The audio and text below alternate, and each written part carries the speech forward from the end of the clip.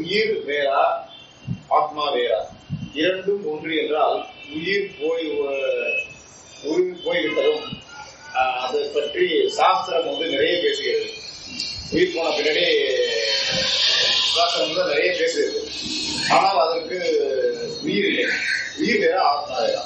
அதாவது ஆன்மாங்கிறது தான் பேஸு ஆன்மாவுக்கு இல்லை ஆன்மாவில் இருக்கக்கூடிய ஆன்மாவில் சவாரி பண்ணுறவங்க தான் அந்த உயிர். இந்த மாதிரி இதுகள் எல்லாமே. இந்த உயிருங்கிறது எல்லாமே வந்து என்ன இப்போ நம்ம பாடி போன பிறகு சூட்ச்ம சரீரம் காரண சரீரம் பிராண சரீரம் இதெல்லாம் வந்து சேர்ந்துருது. அந்த பிராண சரீரம் தான் வந்து அந்த உயிர் தன்மையுடையது அந்த பிராண சரீரம் வந்து எதை சமக்குதுன்னு சொன்னால் சூட்ச்ம சரீரத்தையும் காரண சரீரத்தையும் சமக்குது. அதுவும் இந்த இந்த பாடி போன பிறகு அது கண்டினியூ ஆகுது.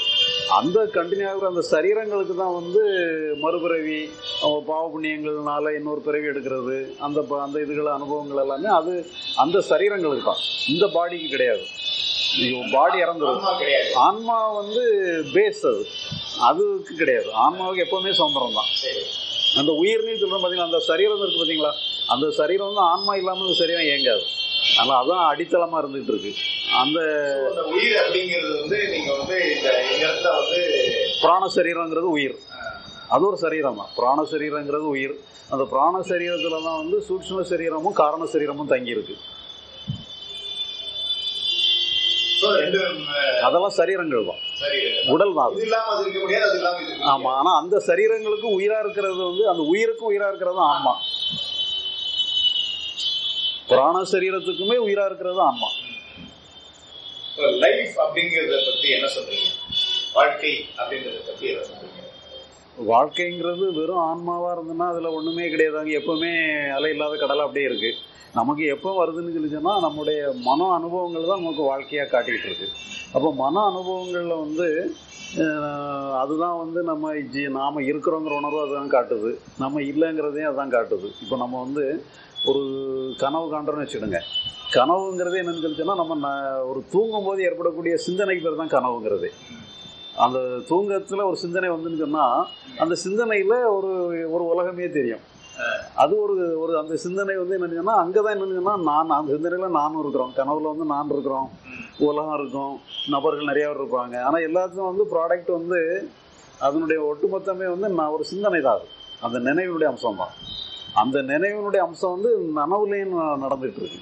அந்த நினைவினோட கலப்புனால தான் அந்த உலகமே நமக்கு இருந்துட்டு இருக்கு. அது வந்து அங்கே வந்து என்னன்னு சொல்லிச்சுன்னா வெறும் சிந்தனை மட்டும்தான். இங்கே வேற ஒன்றுமே கிடையாது. இங்கே புறக்காரியங்கள் நடந்தாலும் கூட அந்த புறக்காரியங்களோட இந்த ஃபில்மும் சேர்ந்துருது. அந்த நனை நனவுங்கக்கூடிய சிந்தனையும் சேர்ந்துருது.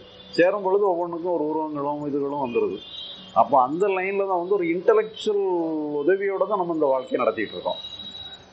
இப்போ இதில் என்னன்னு சொன்னால் உலக காரியங்கள் வரும்போது நபர் பல நபர்கள் வந்துடுறாங்க. பல விதமான காரியங்கள் வந்துடுது. அப்போ ஒரு தர்ம நியாயங்கள் முக்கியமான ஒருத்தர் ஒருத்தர் அட்ஜஸ்ட் பண்ண வேண்டியது அது எல்லாமே முக்கியத்துவம் வந்துடுது அப்போ வந்து த உலகத்தை பொறுத்தல தர்ம நியாயங்கள் கண்டிப்பாக வேணும். அதுபடி நம்ம என்ன நடக்கணுமோ அதை செய்யணும். ஆனால் இதில் என்னன்னா இந்த அகத்தில் தான் நான் என்ன செஞ்சேன்னா அகம் புறணிட்டு பிரிக்கிறது.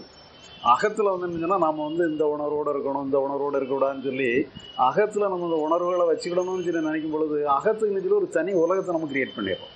அதுதான் தேவையில்லைங்கிறது. நீங்கள் அகத்துக்குன்னு சொல்லி நம்ம ஒரு உலகத்தையே கிரியேட் பண்ணலைன்னு சொல்லி சொன்னால் அக உலகம் கம்ப்ளீட்டாக நெல் நல்லிஃபை ஆகிடும் அப்போ நம்ம அந்த அக உலகத்தை நம்ம கம்ப்ளீட்டாக நெகேட் பண்ணிட்டோம்னு சொல்லி சொன்னால் நம்ம மனசு வந்து ரெண்டாக பிரியாது. இப்போ நம்ம என்ன சொன்னால் அக உலகம் நம்ம மனசு அளவில் நல்லா இருக்கணும் மனசு அளவில் சந்தோஷமாக இருக்கணும்னு சொல்லி ஒரு மனசை வந்து ரெண்டாக பிரிச்சுக்கிடும் இப்போ ஒரு பிரிச்சுக்கிட்டு மனம் சம்ம நிம்மதியாக இருக்கணும் மகிழ்ச்சியாக இருக்கணும் அந்த அனுபவம் இந்த அனுபவம்னு சொல்லி மனசை பிரிச்சுக்கிடும் அப்புறம் உலகத்தில் நம்ம வாழணும்னு நினச்சிக்கிடும் இப்போ நம்ம மனசுல உள்ள அனுபவங்களை வந்து அப்படியே புறக்கணிச்சிட்டோம்னு சொல்லி சொன்னா இந்த மனசு வந்து முழு மனசாயிருது அப்போ நம்ம வாழ்க்கையோட வாழ்க்கைய மனசு இணைஞ்சிக்கிடுது அப்போ வந்து வாழ் அந்த மனசு தான் வாழ்க்கை. அந்த மனதோட மனசு வந்து புற வாழ்க்கையோட அப்படியே இணைஞ்சிக்கிடுது. அப்போ டோட்டல் வாழ்க்கையே ஆன்மீகமாக போயிடுது.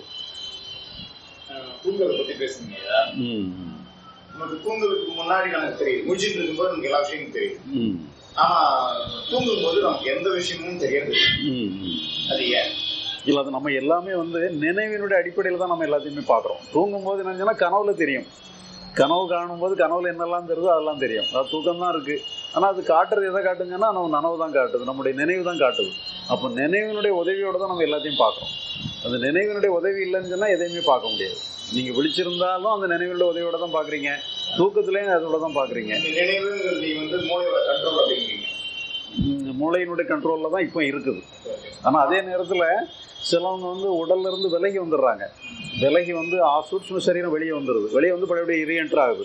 இப்போ அவங்களுக்கு கூட நினைவுகள்லாம் இருக்குது நினைவுகள் இருக்குது அவங்க சில ஃபங்க்ஷன் எல்லாம் பண்ணுறாங்க அது மாதிரி சாத்தியக்கூறுகள் உண்டா? இருக்கு இருக்கு. நம்ம என்னன்னா நாம எனக்கு அந்த அனுபவம் ஏற்படலைனாலும் என்னோட தொடர்பு உள்ளவங்களுக்கு நிறைய அந்த அனுபவம் ஏற்பட்டிருக்கு.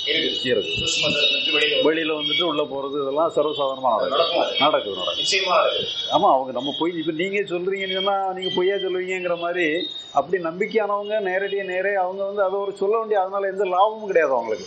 அதனால நான் அப்படி வந்துட்டேன் அதனால ஒன்றும் பெரிய ஆளாயிட்டேன்னு சொல்ற அளவுலையும் இல்லை. ஒரு சராசரி நிகழ்வை பேசுற மாதிரி நான் அவரை பார்த்தேன் இவரை பார்த்தேன்னு சொல்ற மாதிரி ஒரு நேரடியா அவங்க அனுபவத்தை சொல்றாங்க ம- மனசு மூளை ரெண்டு வெவ்வேறு இல்லையா ஆமா மூளைங்கிறது வந்து பாடியோட சம்மந்தப்பட்டது. மனசுங்கிறது என்னன்னு சொல்லி அந்த சூட்ச்ம சரீரத்தில் வந்து மனம் புத்தி சித்த அகங்காரங்களோட சேர்ந்து வந்துடுது அதாவது காஸ்மிக் மைண்டுன்னு சொல்லுவாங்க. பிரபஞ்ச மனம்னு சொல்லுவாங்க. இந்த பிரபஞ்ச மனதில் உள்ள ஒரு சின்ன பகுதியாக நம்முடைய மனது.